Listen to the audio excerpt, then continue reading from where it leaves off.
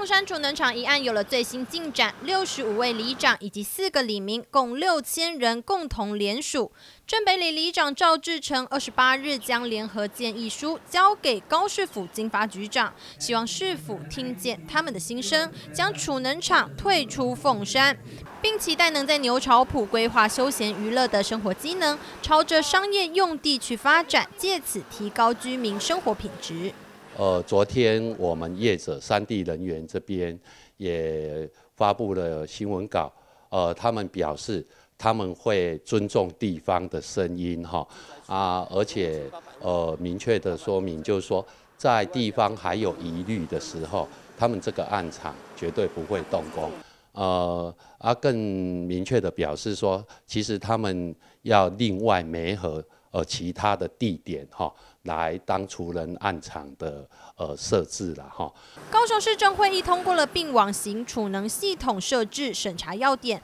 根据人口的稠密性以及未来经济发展的因素，凤山牛巢埔的储能厂不符合要点的规定。经发局指出会倾听民意，住在附近的居民也终于放下心中的大石头，松了一口气。